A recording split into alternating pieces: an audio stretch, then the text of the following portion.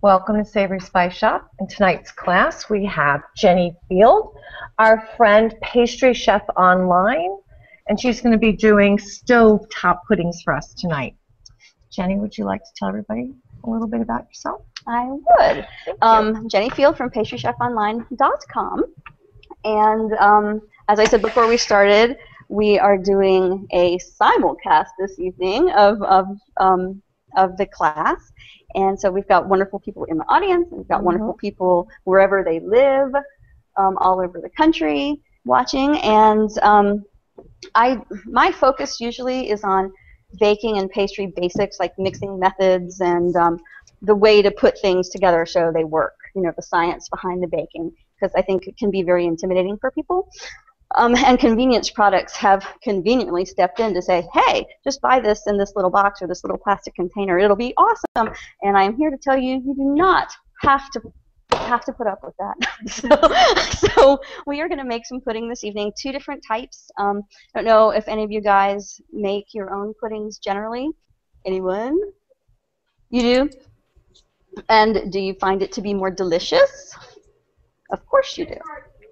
I'm sorry? Right. Well, I am the people online know that I like to do everything on high, so I usually just like whisk like a mad woman. but, um, but I'm using a, a pretty powerful induction burner this evening, mm-hmm. so I might I might not play with high this evening just to make sure, at least on the first batch. And um, we're going to make two different kinds this evening. Um, first, we're going to get a vanilla bean steeping into milk to make an intense vanilla pudding, and then we're going to put that aside so it can kind of hang out together for a few minutes, and we're going to make a an orange mocha spice pudding, and that features the Baker's Brew Coffee Spice, which is my favorite here at the Savory Spice Shop. Um, and also in the vanilla, I should tell you, I am using part of a wonderful Mexican vanilla bean, and also some of their um, vanilla bean paste. Um, when it comes to vanilla, people people talk about things being vanilla as like that's a bad thing or something, but vanilla is really one of the most complex and intense flavors that there is. Um, you just have to know how to wake it up. And one of the ways that you can do that is to use two different kinds. So the Mexican vanilla is kind of um, woody smelling, and it's a little bit mysterious. Um, would you, do you guys want to smell it? Sure. Pass it around and then pass it on back to me so I can use it. We're going to heat it up so hot it just won't matter that everybody's touching it. It'll be great. See, it's sort of a a mysterious vanilla, like a darker sort of tone. Yeah, exactly, exactly. And then the Madagascar vanilla is kind of your straight up vanilla that it's like when you think of what vanilla tastes like. It's like a, a, a clean sort of middle of the mm-hmm. road mm-hmm. kind mm-hmm. of deal. So, and I've made a mess of this, but you're welcome to, to smell that as well. And you'll be able to tell there's a really pretty distinct difference between the two. Yes?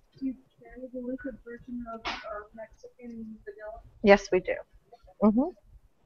Yeah. A lot of people don't really like the Mexican vanilla, and um, some of it is actually not made with real vanilla. It's made with something that is similar, which mm-hmm. apparently is illegal in the United States, and right. it's like bad news. So you have to get like the real stuff, which lives here. So mm-hmm. hooray us! Yeah, aren't they both wonderful? So using both of them, steeping the bean plus using the extract is going to give us a lot of depth of flavor, as well as using the secret ingredient in everything, which Dee will know, salt. Salt goes in everything, um, for me anyway. Um, people with dietary restrictions, I completely understand that, um, but people who like vanilla pudding are going to want to use some salt in their pudding. It's just going to make it um, have that much more depth. The salt, for me, it doesn't really make things salty. It makes things taste more like what they should. So if something is meat, it'll taste meatier with the salt. If something is chocolate, it'll be chocolatier. chocolatier. Vanilla will be vanilla-ier with the salt in it.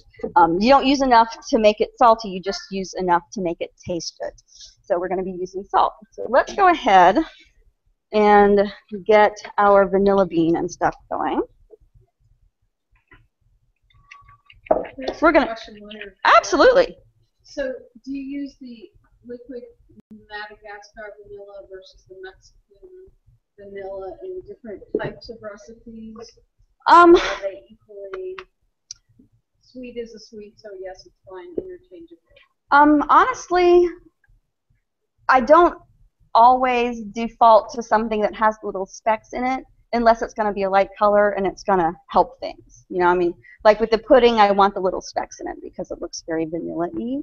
Um, Bob's back there doing something. I don't know what's going on back there, but anyway, um, So But yeah, you- little specs, Mexican or? Um, actually, well, any of them from the bean that has like the little caviar on the inside. Um, but as far as the flavor, it kind of is up to you. You know, there's the Tahitian vanilla, which is such a top note that it's almost just a fragrance. And then there's the Mexican that's like this base note. And then somewhere in the middle is the Madagascar. So the more different types you use, the more complex whatever you're making is going to be. Tahitian, you don't really want to heat because it is delicate, so you put that in at the end. A Madagascar is pretty much a workhorse, so you can put that in and bake it into cakes and things like that. What about like the creme brulee or? Oh, absolutely, absolutely. I would, um, I would not hesitate. Not some people are not a fan of the Mexican. I love it. I would absolutely put this baby in a creme brulee. Yeah. Any other questions? Any questions from over um, in the peanut gallery or on the event page or anything? I'm going to turn my volume up so I can hear everybody. Okay, so we're going to um, this is a scalable recipe. The one that you're gonna ha- that you have in front of you is for one cup of milk. We're gonna make four cups of milk worth because we're all gonna taste it, except for the poor peanut gallery. Puddingless. It's very sad. Do you see? Do you I see, I love it. I have a towel. Thank you. Messiest cook ever, y'all. I mean well, though. I really do. Okay.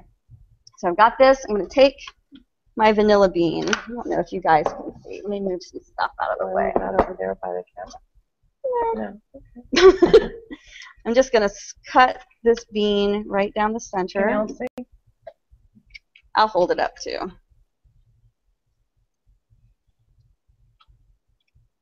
And this bean came from here. So I cut him in half. And then in the inside of him is what they call the caviar, which is just the wee little seeds and the pulpy stuff that lives inside a vanilla pod. So all of that is going to go into the milk. And we're going to How long is that good for? the vanilla bean, um, you want to use it while it's still pliable. Do you have any information? We usually say about six months. Um, much longer, it's going to start to get hard, and you're not going to get that intense flavor. You always want to store it in a cool, dry place. Never put it in the fridge. Um, it will kill your vanilla bean if you do. we don't want that because they're expensive. So we want to get as much use out of them as Mhm. possible. If you do have one that you forgot about in the back of your closet or something, and you and you find it and you're like, oh hooray, and then he's all hard and scary, and then you get sad. Um, worry not because you can always cut him up and put him in sugar and Mhm. whir that up together, or just leave it whole in there, and then you'll have vanilla sugar. Okay. Oh, this is so exciting, you guys, with the um, with the old induction burner. I don't really. We should have practiced on how to use this thing. You just turn it on, and then there you go. That is how it goes. Awesome. Yes. Um, and the temperature is going to get super hot. Awesome. It says it's 1,800 degrees hot right now. I don't think that that's probably the case. no, but the surface will not ever get hot. right. It doesn't make So we're just going to warm this. We don't want it to get boiling hot. We just want it to get warm enough that our vanilla gets to know our milk.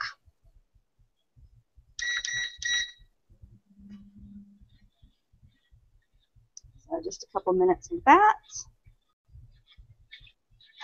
And then the wonderful thing about pudding is because um, it's starch thickened, um, even though I put an egg in it, I don't have to worry so much about curdling my egg because the starch gets in the way of that, which is lovely because that means I don't have to use a double boiler as long as I'm paying attention and whisking.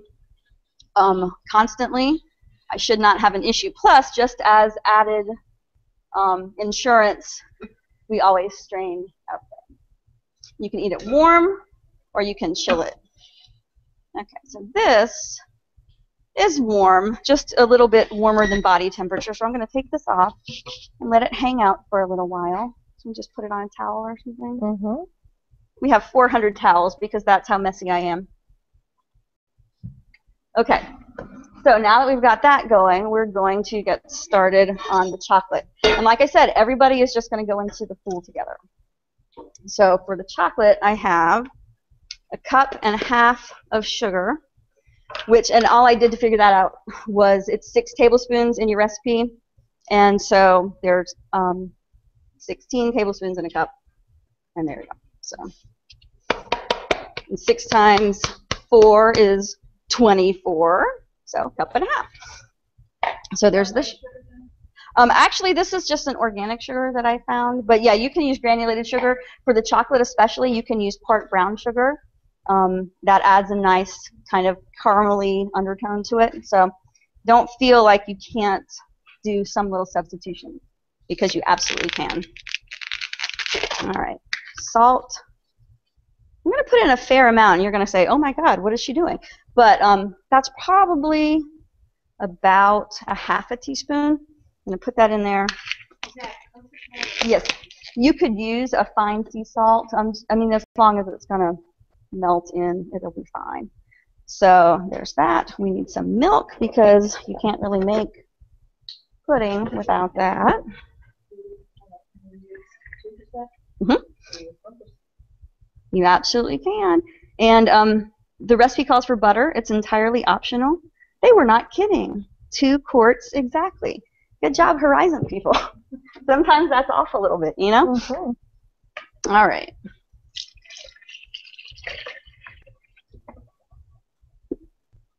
Do you hear that? Put this away. I don't need this in anymore. Okay. What else goes in here? We need cocoa powder. Um, when I made this, I, it called for three tablespoons of cocoa powder for the one cup of milk, which is great. You can do that, but it's a little rich. I'm going to start with just two tablespoons per, and then we're going to taste it and see what we think. So there's that. Can you mix half and half with the black onyx cocoa powder? Yes. Sure, you could use just all black onyx if you wanted to, but I would like cut way back, you know, because that's pretty serious. I was half and half. hmm Yeah, you absolutely could. Um, I did not get cocoa powder for, the, for these guys for this demo. I was using so many of the other products. I was like, well, I will grab what I have at home, and so that's what I did. But next time, I will okay. use savory spice Not shop. to worry. Okay. Black onyx smells like Oreos. It's kind of amazing. And as Cindy likes to say, it's, it's a really fine powder. It gets places that you would never imagine cocoa powder could get because it's so fine. All right. We also have our baker's brew. Now this pudding, the vanilla pudding is going to be completely smooth. The baker's brew has a bunch of different spices in it. And they're going to get through even the fine mesh strainer, so there's going to be just the tiniest edge of, you know, I have um, ground cinnamon in me, but that is a good edge to have as far as I'm concerned. So, and again, I think four tablespoons would be a lot for this amount. So in one cup, I used one tablespoon, but I'm starting with about one and a half for this. And then we'll taste it and see. Again, with the, um, where are my eggs? Here they are. With the eggs, they are necessary in the vanilla, mostly for the color, but also for richness. But again, the chocolate is so rich that even though the recipe is calling for one per cup, I'm going to start with two per four. See, I'm just making all these changes, but it's okay. It's gonna it's gonna work. It's just it's completely dependent on how rich you want it to be, or it also depends on how much you want to eat. If you want to eat like a vat of it, you're going to want to back off. And if you just want like a really intense little bite to give people at the end of a dinner party or something, go full on, you know, with like all of the egg yolks and things like that. How are we doing, peanuts? Okay, hi Jenni, it's David. Hi, David. I'm glad that you're here. How's it going, you guys? Good. Good. Any questions or comments or anything interesting going on out in the internet world? Who's watching the event page? Um, Brooks is taking care of that this evening. Ah, great. All right. Well, we're going to carry on. All right. I'm going to turn this guy on.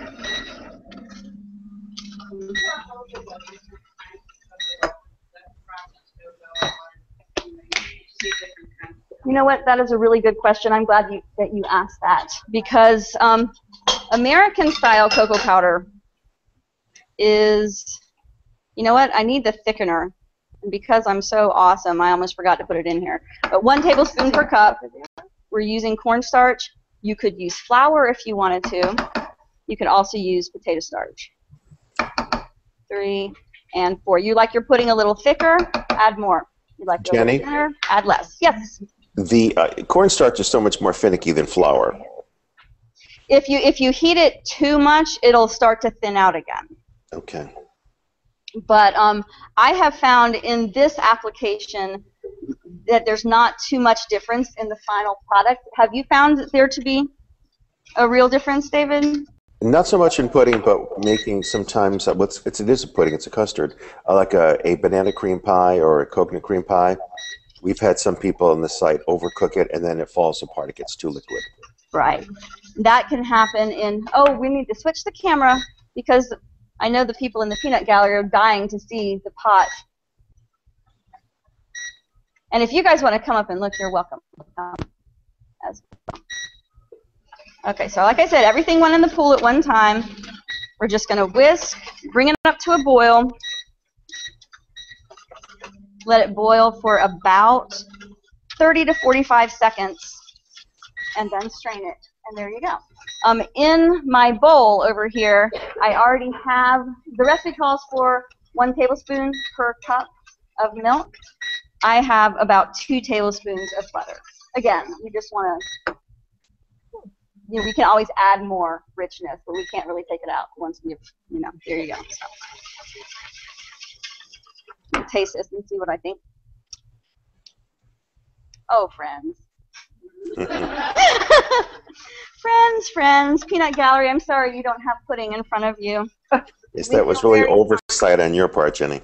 Do what, David? Real oversight on your part It for not really sending is. us. I, I should have I should have airmailed everybody some pudding. I am the worst. That would have been a good idea. Hmm.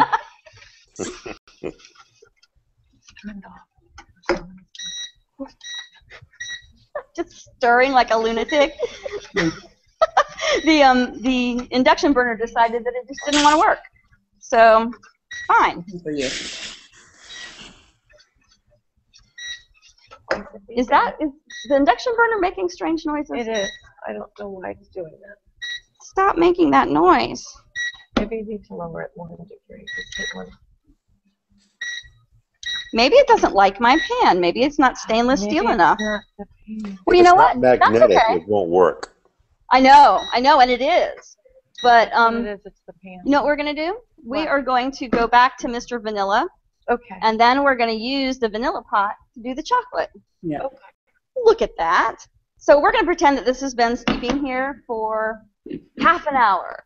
Magically, we were jumping forward in time, and now to our vanilla, I'm gonna add some salt. I'm gonna go ahead and add all four of the eggs because you guys are gonna be so happy when you taste this vanilla pudding. You're not gonna be able to stand it. Where did I put my bowl?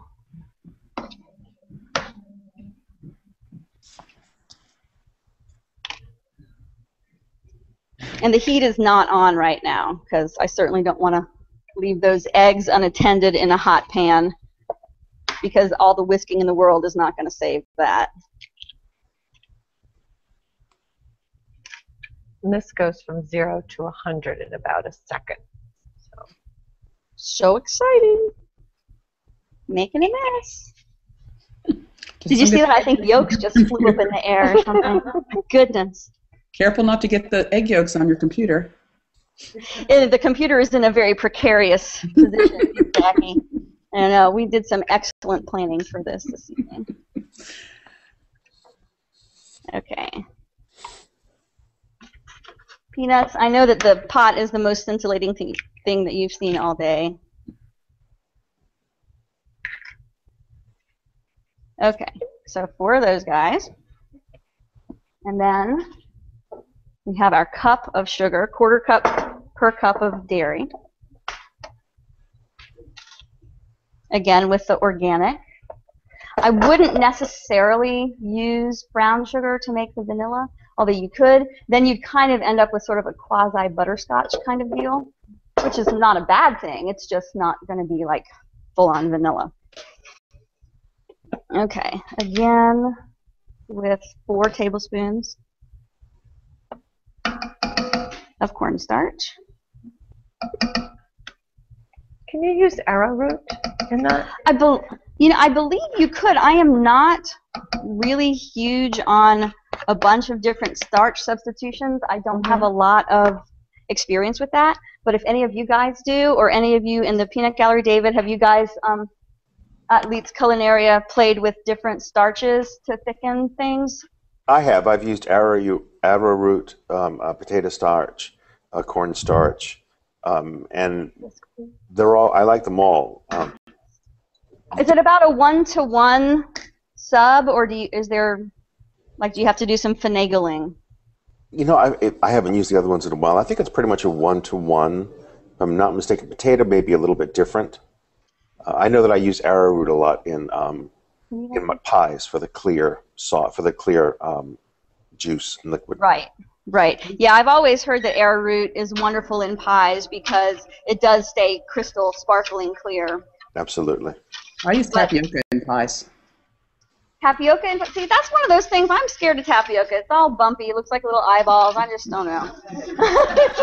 It's not a. You can buy it powdered. You can buy yeah, you can buy a powdered jam. Fine. But I understand the eyeball reference. Eye of Newt. Let me taste Mr. Pudding here.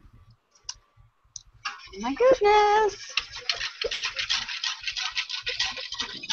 So if you'll notice, I did not put the Madagascar vanilla into the pot. I'm going to put that in the bowl along with the butter. You're right, this thing does heat up very quickly. Mm-hmm. Very exciting. I have cranked it up to 1,800 people. You have instant pudding in no time. right. Yes, it does bring new meaning to the term instant pudding, doesn't it? Mhm. And at home, I make this like one cup at a time, um, just if I need a pudding fix. And I, my motto is you're never more than 15 minutes away from homemade pudding. Can you make just one cup of it and that's enough? Mm-hmm. Or maybe two cups. Don't push it, can. Jackie. it depends on how long it is until the beloved gets home from work after pudding I make. I mean, is- is he okay with you making pudding for yourself and not leaving him any pudding? Or is that, do you get a half a cup each? What do you What do you say? He's right here, honey. What do you have to say to that? I didn't even know you knew how to make pudding.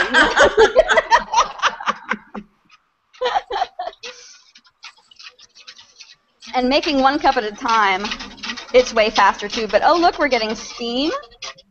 It's going well. My mom used to always make the boxes of um, Mighty Fine brand pudding, which I thought was the best. And it kind of is the best in a this is what I used to eat growing up sort of way. But in the now I'm grown, I can make my own pudding way, this is really, this is the way to go. My mother said she'd be watching, so hi, mom. I still like Mighty Fine pudding too.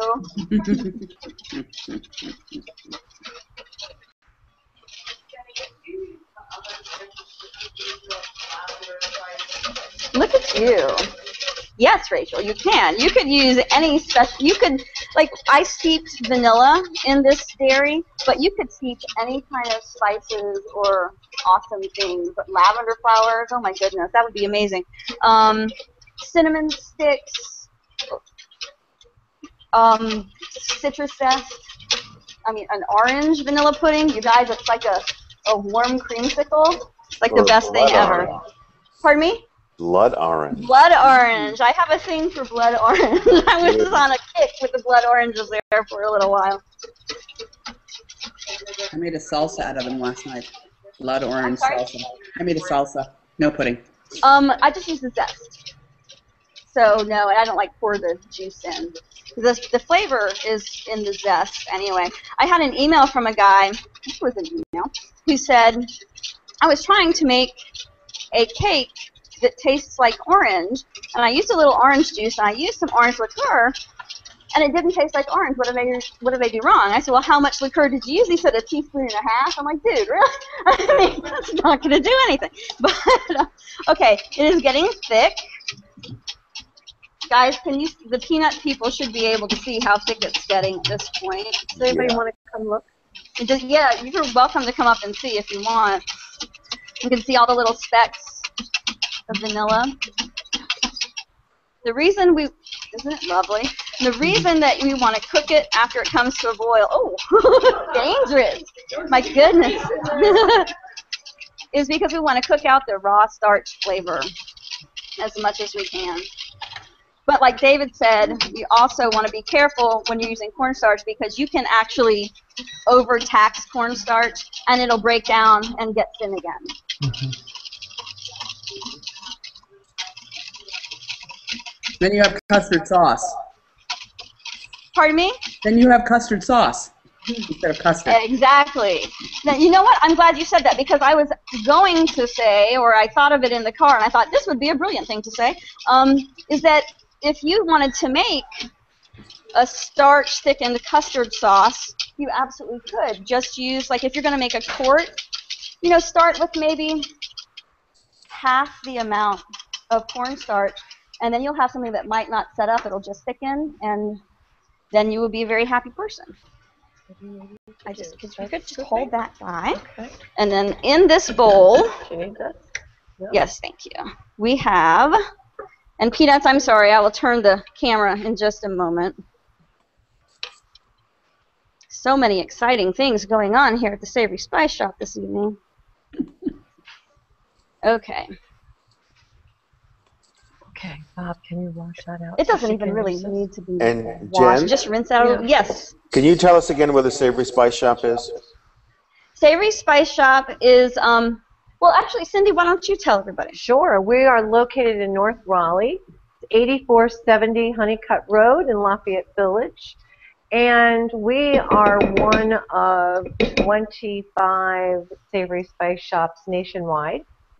We were the third one uh, to open in the country, the first on the East Coast and the first in North Carolina. But there are now three more shops here in North Carolina, two in Charlotte and one in Greensboro. And is there a web address? There is. It's www.savoryspiceshop.com. And And I, if you, I'm sorry, go ahead. I was just gonna say I'll put that um, the links to Bob and Cindy shop and to the corporate store um, in the description for the video as well. Great, thanks. the shop uh, started in Denver, Colorado. So that's where the home store is, and we are a franchise. Let's. It looks gonna, it looks like a fabulous shop. It is. it really is the fabulous shop, you guys. It really, really. Is. Okay, so panorama when you're done. Yeah, maybe. Sure, we can do that. yeah, we can show you the whole shop. Okay, so this has the butter and the Madagascar vanilla paste added in. I don't know if you can see from where you are all of the little specks. Uh, Yeah. but I want to lick the spoon. This is mostly clean. I'm going to taste with this. Oh, oh, you guys! So exciting. Okay, Jeez. I'm sorry. I wasn't talking to y'all. I'm sorry. Cover your ears, Peanut Gallery. Cover your ears. Okay, Cindy is going to portion out the vanilla while we move on. Um, oh, that's right, the little Scoopy. Thingy. The, that guy. Oh, yes. Thank you. we yes. Sorry, you may have said, but if you wanted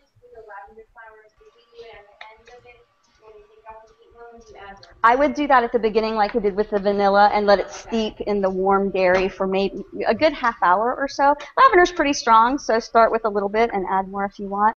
And also, um, you might consider, if you want like a really pure lavender flavor, losing the egg yolks or some of them because the egg yolk might tend to um, mellow that flavor out a little you know? So something you can play with. Um, i definitely vote to use the um, eggs in vanilla but other flavors you don't need them for thickening. It's just for a silkiness and a richness. Okay so now we're going to magically thank you so much for the pot bob. All right put this back in a pot that the burner likes and let me scrape it out.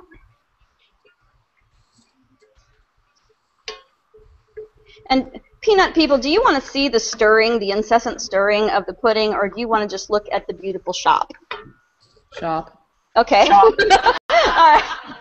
Okay, we will leave the camera the way it is, and you can watch me in profile, stir and stir.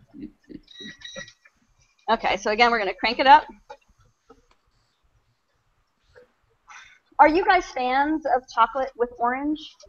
Okay, then we will add the orange to it. I just wanted to make sure that you were, because some people don't like that. I don't trust people who don't like fruit and chocolate, but there are those people out there. So, Say, Jenni, oh, yes, absolutely. Um, yes, Brooks. we have a question from the event page. Avoir has joined us. Oh, hey, Avoir. He says he has terrible luck with making pudding with eggs on the stovetop. He wants to know if he could use a Bain Marie. You absolutely could use the bu- double boiler if you wanted to. I just don't like to wait that long for my pudding. but yeah, it will heat things much more um, gently. So yes, you absolutely can just put um, your like a stainless steel bowl on top of a pot of simmering water and do it that way. Just know it'll take longer. I got But- this really, I'm sorry. I got this really cool bowl for it. An All-Clad, yeah, bowl for a bowl that I got in Montreal for that, which is like you can put in the double boiler, and it sits on a silicon base, and you can put it into the into the pot, and it's round at the bottom, so it's great for pudding because it doesn't get corners. Nice. Mm-hmm. Very nice. Jackie is showing off. She has a special bowl. I do have a special bowl. I would actually like to see that special bowl, Jackie. Maybe after we're done, you can go fetch it or something. Do you have it I at your can go house? fetch it. I want to fetch it now because I'll make a racket and dig it out. Okay. Well, I maybe after we're like done with the broadcast, I would love to see it. Cool bowl. Okay. Oh my goodness, you guys, you want to come smell this? It smells amazing. I promise not to um get anything on you. I'll stir gently. Oh my gosh, I'm so excited. Do you smell it? I do. And I'm Mm. smelling this, and it all smells amazing. I know. We are lucky pudding eating people, you guys. It smells so lovely. I'm telling you, the baker's brew is my favorite thing. I have used it in everything from a slow cooker brisket to cakes and puddings. And what else have I used that stuff in? Sticky, Cinnamon rolls. yeah, sticky buns. I mean, the stuff is versatile and wonderful, and it's equally at home in savory stuff and in sweet stuff. I just, I love it. Yeah, we have a lot of recipes on the website too. For- when I first got it, I, I, I like every day I was making something new, and I'd post a picture on Cindy and Bob's wall. Look what I made today! Look what I made today! I know. Wait, look what I made today! It was incessant. I mean, oh my gosh. I Well, thought you know. she's totally addicted to this stuff. I really kind of am. admitted that she was. Yes, I, I, you know, the first step is admitting you have a problem. So that's true. That's true. And my yardstick for that is very low. okay, this is starting to thicken up a little bit. So we're going to pour one chocolate pudding without orange, and then we're going to add the orange to the rest. Oh, so we need another bowl? No, actually, I'll No? just we can just scoop one like right out of here, like with the scooper, and then I'll add the orange. Is that? Can you do that? You are awesome. Thank you, Cindy. Will we do three without orange? Three without orange? Yes. Sure. We can do three. I like you guys. I wasn't talking about y'all when I said I don't trust the people who don't like creamy chocolate.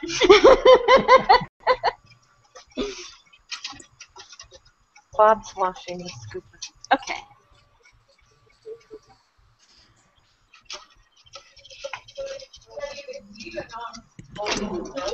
Mm-hmm.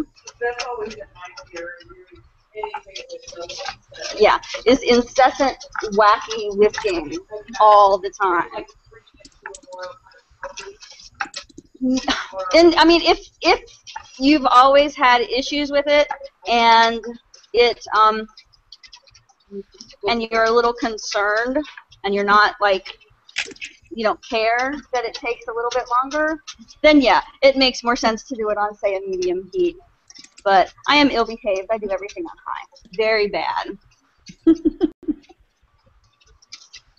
but we're gonna have pudding so fast. You're gonna thank me. Okay, we're almost there. Remember those shaker puddings that you used to just pour and shake, shake, shake?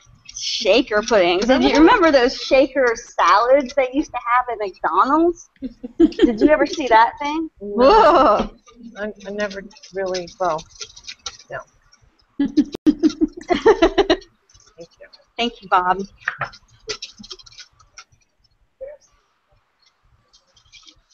The who? I don't know that I ever had.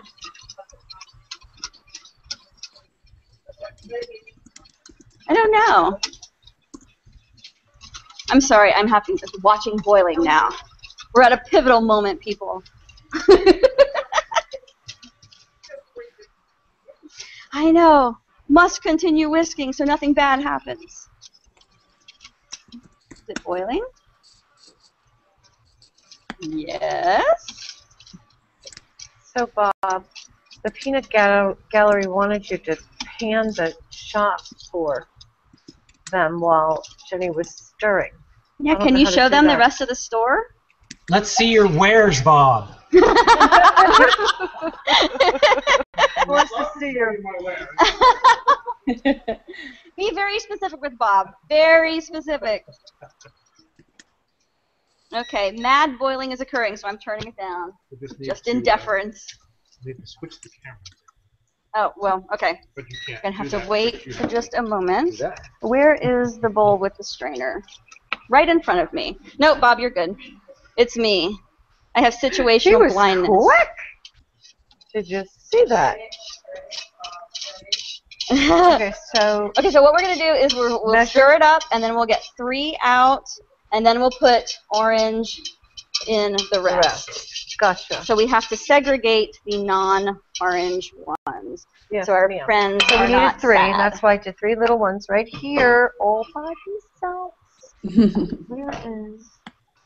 I'm going to use this. Thank you. Okay.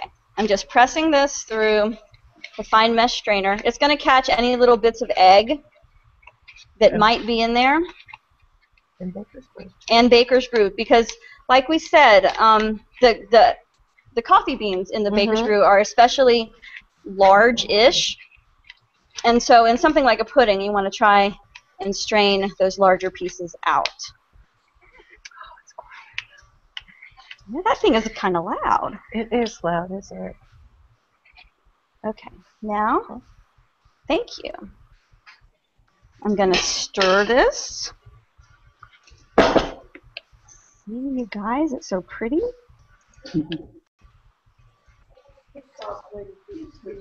Oh, oh, see now. Thank you. I'm glad that you did. I'm so excited about the pudding. What am I doing? 15 The peanuts. You asked for it. Got it. All right, my wares. He's selling people this evening. Lovely people. We want to see your wares, not your people. Hi, people. Now we can stroll around the shop, nice. as Jenni said. You'll see uh, the various sections are denoted by the orange signs. That's various departments that we have. We have our salts. Over in the corner we have our peppercorns. the exotic spices, including juniper berries and galangal roots, turmeric, and the like. And right behind that, the chilies. Uh, Sounds we like a tour guide on one of around. those we have our- Our, barbecue island on the other side of the store there. Normally, that's where the audience is currently sitting. We move that out of the way for the classes. And then we'll put the And behind us, we have our baking section, and we'll go over to our, our herbs. Thank you for sharing.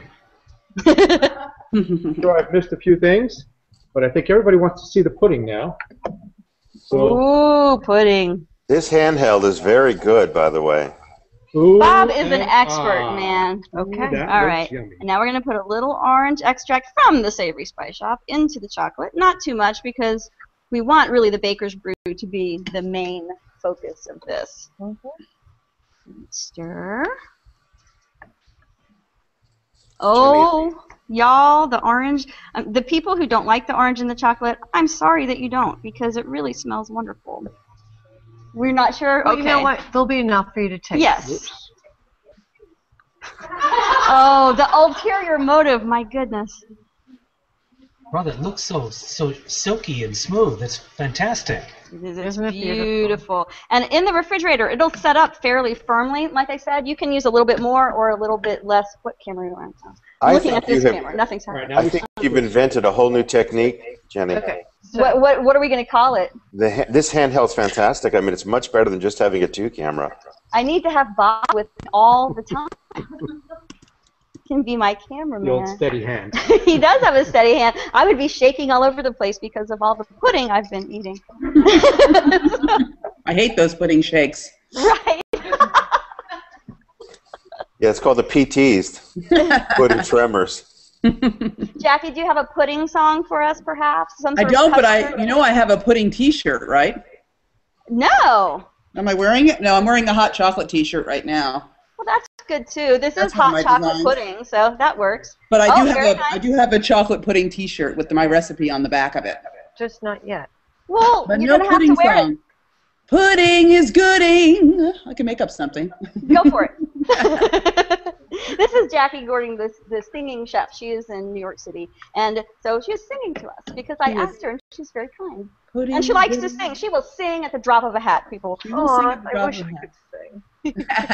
I know I'm the worst singer ever. You don't want to hear me sing ever. Nobody ever wants to hear me sing. you didn't have to agree that quickly. Right. How are we doing? Do we have all sorts of pudding? Plenty Oh, of pudding we for are everybody? just And yeah. Hey, would you like to taunt the peanut upset about the gallery with what the beverages are? Lack of pudding. So just, we you have an extreme lack of pudding at your house. We're serving uh, decaffeinated coffee with our spiced vanilla bean sugars and And? cream. And then we have a beautiful dessert Italian wine. dessert from, wine.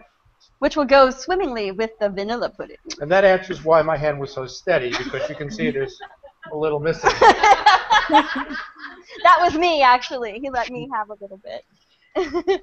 And then we just flavored some water with some spices and fruits in case there was none of the above that someone could have. So Wow. so we have a plethora of choices this evening. Now, I just looked up this Baker's Brew. I have never heard of it. Mm-hmm. So after we finish and we go into our own little green room after this, I'd like to order some if that's possible. Well, David, we will just send you some. Oh, How's that? darling, I adore you, sweetheart. And let you let you play away. And David can just works the room, y'all. You tell us tell I us have how just you used use my it. southern charm. That's how I did that. I used my southern charm. Are you from the South, David? Yeah. I'm, no, I'm very much from the north, near Boston, in New York. Yeah, because you know what? The folks here tonight, when they come to the class, they go home with a spice and recipes. And uh, so they're getting some Baker's Brew, and I think it's only right that the Peanut Gallery might get some. So you can David, you the crowd for everybody. Yay!